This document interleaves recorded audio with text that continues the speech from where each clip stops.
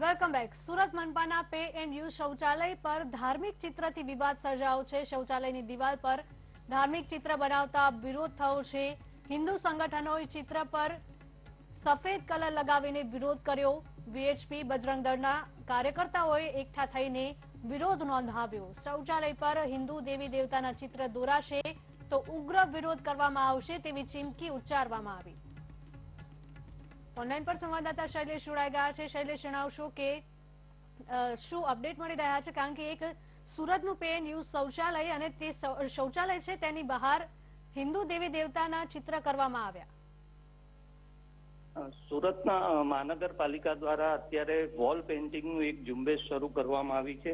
આ વોલ પેઇન્ટિંગમાં શહેરના દરેક જે જાહેર સ્થળો છે, ત્યાં દિવાલો ઉપર ચિત્રો જુદા જુદા બનાવવામાં આવે છે. એમાં કાપોદ્રા વિસ્તારમાં એક જે પેન યુઝ ટોયલેટ છે, ત્યાં આવું ધાર્મિક ચિત્ર બનાવવામાં આવ્યું હતું ને તેને લઈને ખૂબ મોટો વિવાદ ઊભો થયો જો કે બીએચ